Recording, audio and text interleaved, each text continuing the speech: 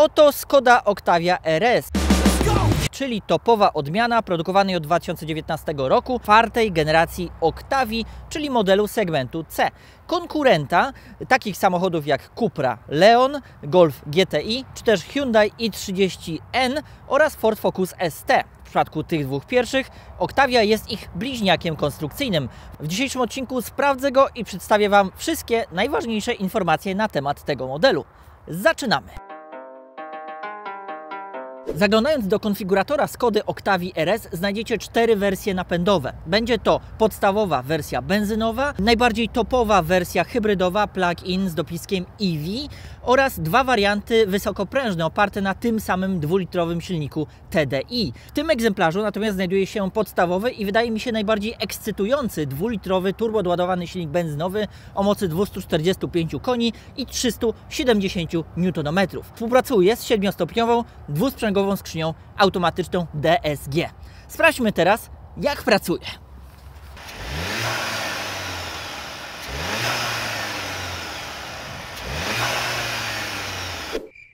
W tabeli jednostek napędowych znajdziecie też bez trudu dwulitrowego diesla o mocy 200 koni w wariantach z napędem na przednią oś oraz 4x4, a także wersję Octavii RS EV, w której tajemniczy dopisek oznacza jestem hybrydą plug-in i napędza mnie silnik elektryczny wespół z benzynową jednostką 1.4 TSI, a sumaryczna moc układu napędowego wynosi 245 koni.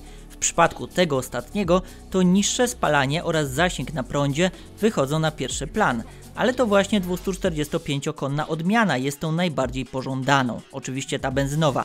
Jeśli 2.0 TSI 245 koni kojarzy Wam się już z jakimś samochodem z grupy WAG, to tak, jest to ta sama jednostka, która napędza Golfa GTI 8 generacji.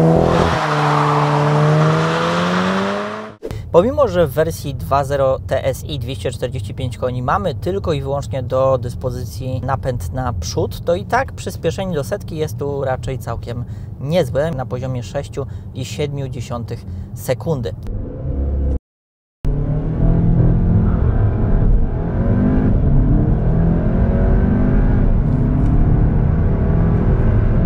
Szyny były złe, a pod... Jeżeli porównujemy wersję benzynową z dostępnymi również innymi opcjami, jak na przykład hybrydą plug-in z dopiskiem EV, czy wersją wysokoprężną z napędem na przód, to zorientujemy się, że e, te dwa warianty przyspieszają do setki w czasie nieco dłuższym niż 7 sekund. Jedynie w momencie, w którym weźmiemy na tapet wersję wysokoprężną z napędem na 4 koła, okaże się, że on, ten model przyspiesza do setki w 6,8 sekundy, o 1,1 sekundy wolniej niż ta wersja benzynowa, która wobec tego wychodzi na to, że jest y, najlepszą Octavią RS, która też najlepiej brzmi, najlepiej się prowadzi.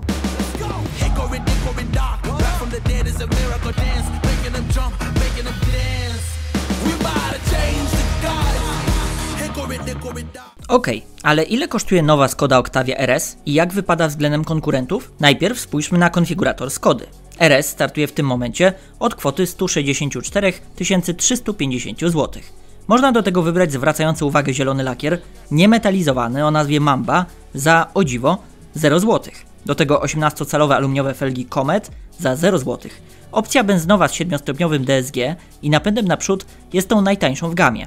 Za dwulitrowego diesla z napędem naprzód zapłacicie o 5000 zł więcej w podstawie, a najdroższym modelem będzie diesel z 4x4 kosztujący minimalnie ponad 10 tysięcy zł więcej. W standardzie dostajecie tu automatyczną klimatyzację, cyfrowy zestaw wskaźników, podgrzewane przednie fotele, czujniki parkowania z przodu i z tyłu, aktywny tempomat, nawigację, sportowe fotele, reflektory LED Top Matrix. To całkiem dobry wynik. Jak jednak wypada na tle konkurentów w rodzaju bliźniaczego Volkswagena Golfa GTI oraz Hyundai i30N, Zobaczmy. Szybkie spojrzenie w cennik i okazuje się, że za Golfa GTI z dwulitrowym TSI o mocy 245 koni za identyczny silnik w innym opakowaniu zapłacicie minimalnie 176 890 zł, a to już drożej o 20 tysięcy złotych. Potrafią się cenić w tym Volkswagenie. Tu dostajecie w standardzie 17-calowe aluminiowe felgi Richmond, sportowe przednie fotele, cyfrowy zestaw wskaźników, ekran systemu multimedialnego, reflektor LED+, aktywny tempomat, czujniki parkowania z przodu i z tyłu,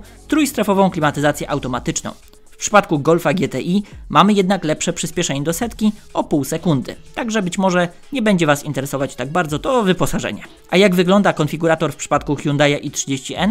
Model z dwulitrowym TGDI i 8-stopniową skrzynią automatyczną DCT kosztuje minimalnie 202 900 zł. Wiem, że widzicie teraz także tańszy wariant, ale ten jest jedynie ze skrzynią manualną, a dzisiaj porównujemy automaty. W przypadku i30 auto robi setkę w 5,4 sekundy,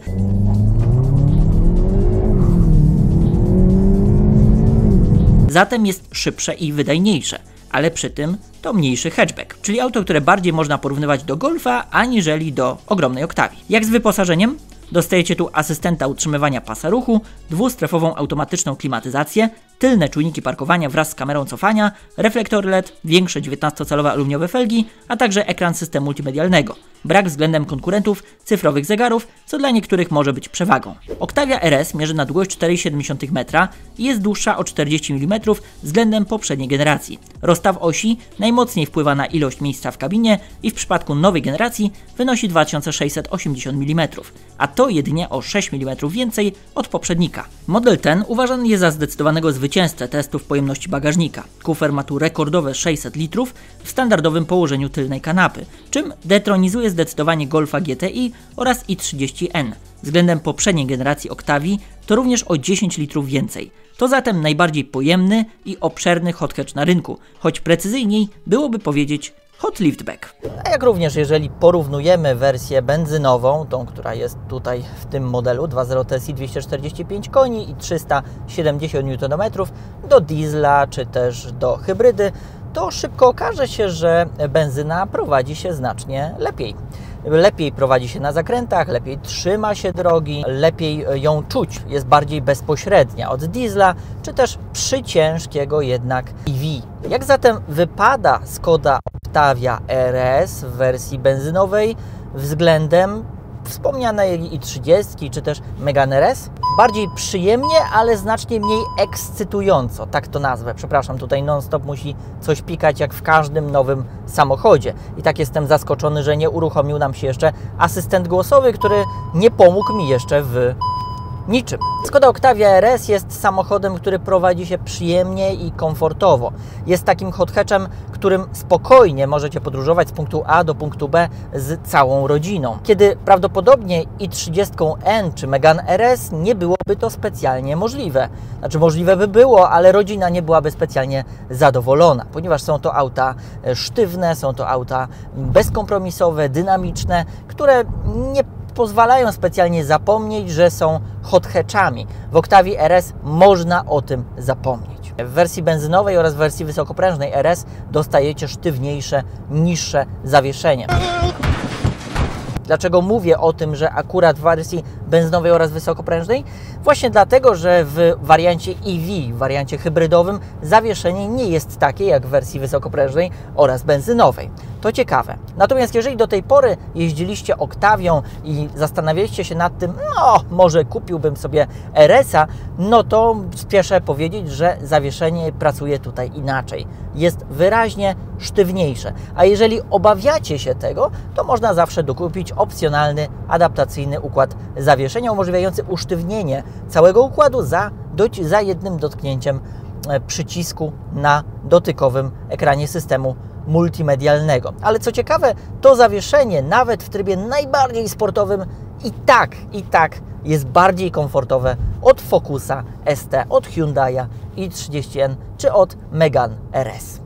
W przypadku hatchów oraz samochodów o sportowych aspiracjach trzeba sprawdzić, co im w duszy gra. Co ciekawe, wersja z silnikami TSI brzmią bardziej sportowo, najbardziej sportowo. Nie mylić jednak z EV, które nie jest specjalnie entuzjastyczne, a to za sprawą znajdującego się pod maską silnika o pojemności jedynie 1,4 litra. Oczywiście na pokładzie Octavii RS znalazły się głośniki podrasowujące brzmienie jednostki napędowej. Można je natomiast wyłączyć i całe szczęście, bo brzmi to komicznie.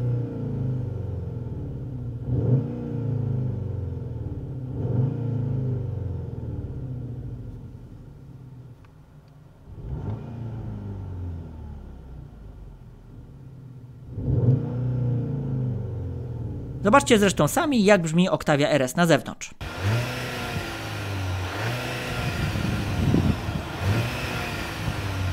Zupełnie normalnie. Kabina Skody Octavii niezależnie od wersji wyposażenia jest bardzo przestronna. Spora odległość między osiami zwiększa komfort pasażerów drugiego rzędu, dlatego przed nogami mają jeszcze trochę miejsca. O tyle ile widzicie. A i nad głową znajdzie się parę centymetrów. Właśnie teraz to pokazuję. Podsumowując, z powodzeniem zmieszczą się tu cztery dorosłe osoby o wzroście około 180-182 cm, czyli tyle ile mam ja. Wyróżnikiem wersji RS są wstawki z emblematami na kierownicy, udający karbon matowy plastik, który wygląda całkiem nieźle, oraz Alcantara nieco wyżej. Na szczególne wyróżnienie zasługują sportowe fotele ze zintegrowanymi zagłówkami. Posiadają ładne rasowe przeszycia, emblematy RS oraz umożliwiają wszechstronną regulację. Za kierownicą znajdziecie cyfrowe zegary prezentowane na wyświetlaczu o przekonnej 10,3 cala. Macie tu kilka różnych opcji wyświetlania, a przełączacie je za pomocą przycisku na multifunkcyjnej kierownicy. Na szczęście nie ma tu przełączników dotykowych, tak jak w Golfie 8, chociaż pod głównym ekranem systemu multimedialnego o przekątnej 10 cali jest suwak głośności. Są także fizyczne przyciski funkcyjne i to bardzo duży plus Skody.